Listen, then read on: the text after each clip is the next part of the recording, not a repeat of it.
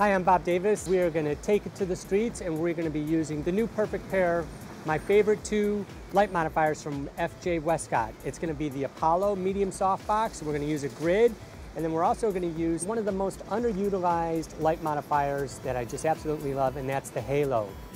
So we're going to mount the 5015 umbrella adapter to the speed light and it has a two-point securing connection. So we get it into the cold shoe then you secure it with the thumb screw and then also make sure you lock the speed light tension right on there so it mounts really solid. Last thing you want is your speed lights to be hitting the concrete. So this will allow us to use an umbrella shaft through here for all of our light modifiers. Quick, easy, solid setup. So for this next shot, we're gonna have Lola inside and we have these wonderful raindrops on the window. So we're gonna kind of do a basic beauty clamshell lighting. We're gonna use the Apollo with the grid in a beauty dish kind of fashion up high coming down to give nice specularity to the raindrops. And then we're gonna use the halo on the bottom with another speed light in there just for some fill so we don't have that harsh shadows that's unflattering under the chin or under the nose. Third speed light's just gonna be a bare flash and we'll turn that on and off just to see, to get a little bit of uh, hair light illumination from the background.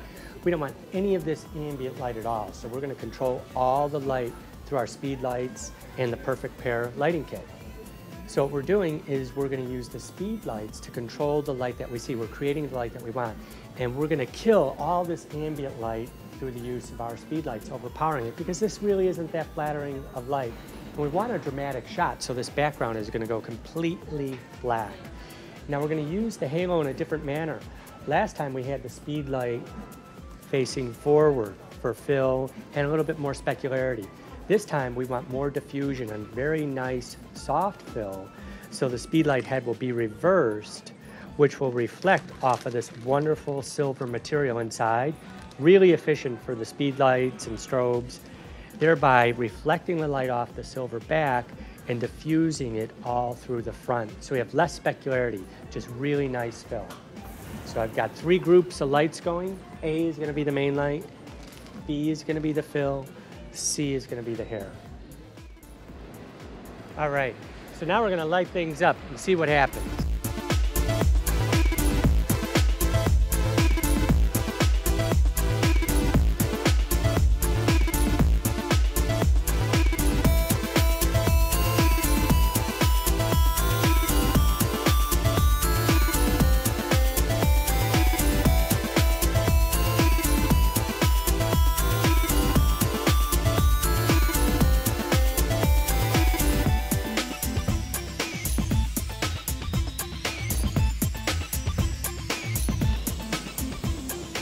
Challenge the focus with the raindrop.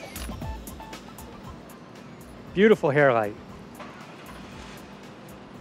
So I got my hair light. My hair light's going on, and then we just need our front lights. And what's nice is we have these access panels. We could open up the zippers, and then we could just tilt that light downward. A little closer. Yep. So really important to have the eyes in focus. Stunning. Nice, nice. All right, I'm gonna kill the backlight for a couple right in the, right from here. This is what's so cool now with this new feature. With the groups, I could turn my background light completely off, so it's just the two front lights. Make sure she's eyes are in focus. That's really critical for me. Oh, amazing.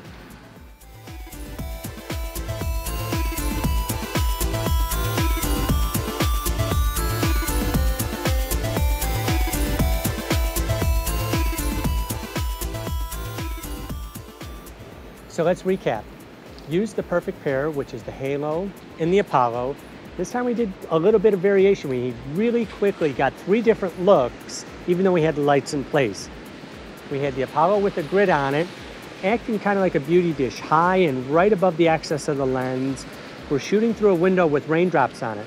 So that's giving me a nice light on Lola the model and also highlighting the raindrops. We had a hair light for some separation and then we had the uh, halo from underneath as kind of a fill.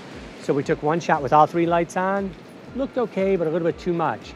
In my mind's eye, had something a little bit more dramatic. So we killed the hair light in the background, which eliminated that backlight on the raindrops, which really caused them to sparkle. Looked nice, but quick variation.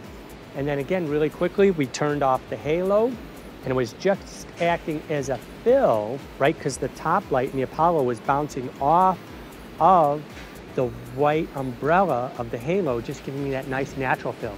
So my favorite shot ended up being just one light, the Apollo with the grid, the halo as a nice reflector fill. It just really pulled off that moody, rainy afternoon shot I was looking for.